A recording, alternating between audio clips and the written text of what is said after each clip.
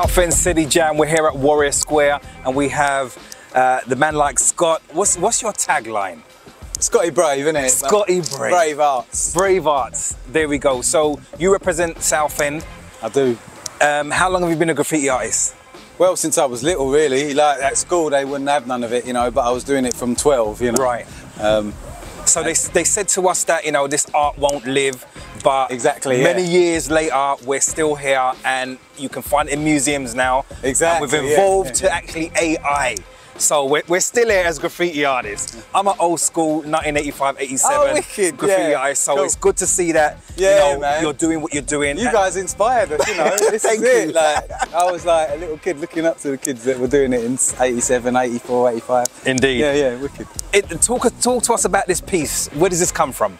Well, I saw a tiger with seven eyes like in a magazine, like a tattoo magazine. It was kind of crude, drawn crudely, and I thought, Yeah.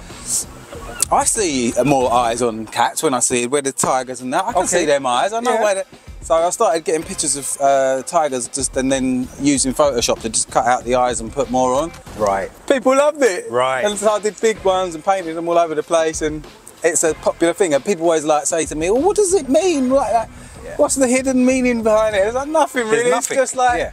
yeah, people were like, "Wow," you know. So this is this is it. Art is life. Art, art is an expression, and you can see that anywhere. Wherever you walk around, walk around in the park, talking to someone, picking up things.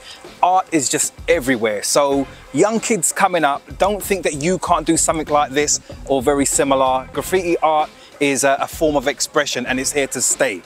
Thank you very much. Scotty Brave, nice one, bro. Brave Arts.